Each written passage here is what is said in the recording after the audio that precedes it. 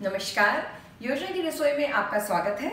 आजकल सर्दियों का मौसम है और शकरकंदी बहुत ज़्यादा मार्केट में मिल रही है और शकरकंदी हमारे हेल्थ के लिए बहुत फ़ायदेमंद है। तो चलिए, हम शकरकंदी से आज चाट बनाना सिखाते हैं और शकरकंदी से बहुत फॉर्म्स में आप इसको पका के यूज़ कर सकते हैं। तो आज हम इसकी चाट बना के खाते हैं। तो चलिए इसके इंग्रेडिएंट्स देख लें। ये मैंने दो शकरकंदी ली हैं और इसके ऊपर डाल चाट में डालने के लिए एक नींबू का रस, दो चम्मच हरी चटनी एक टीस्पून लाल मिर्च पाउडर और एक टीस्पून नमक। अब हम पहले इन शकरगंदी को धो के अच्छी तरह हल्का सा ऑयल लगा के और बेक करेंगे। फिर हम इसकी चाट बनाएँगे। अवन में हमने ये शकरगंदी रख दी है और ये 250 डिग्री सेंटीग्रेड पर 10-15 मिनट में ही आपकी बेक हो जाएँगी। फिर हम इनका छिलका उतार के चाट बनाएँगे। ये हमारी शकरगंदी अच्छी तरह बेक हो गई है। अब मैंने इनको छील दिया है।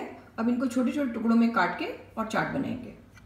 अब इस शकरकंदी को हमने छोटे टुकड़ों में काट लिया है। अब इसमें हम सबसे पहले नमक डालेंगे।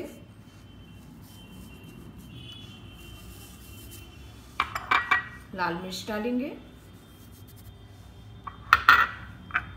नींबू का रस। हरी चटनी। इसको अच्छी तरह मिला लें शकरकंदी की चाट अब खाने के लिए बिल्कुल तैयार है। अब आप इसे बनाइए, खाइए इंजॉय कीजिए।